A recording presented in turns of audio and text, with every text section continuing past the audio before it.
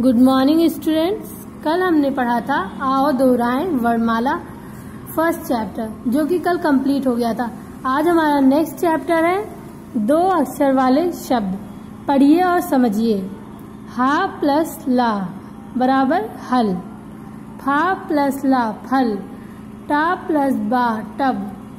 ना ला नल, जा ला जल, चा ला चल, का ला कल आ बा अब, तब जा बा जब सा बा सब ना तन मा ना मन धा ना धन वा ना वन टा तट रा टा रट हा टा हट घा टा घट पा तप ठा पा ठप खा पा खप जा पा जप, डारा डर, कारा कर भारा भर, पारा पर।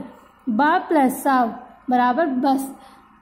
ये आप लोग इतना रिपीट कर लीजिए घर पे और इसको यहाँ से लेके इतना आप अपनी head writing book writing book में राइट करके अच्छी अच्छी राइटिंग में पिक सेंड करें। Thank you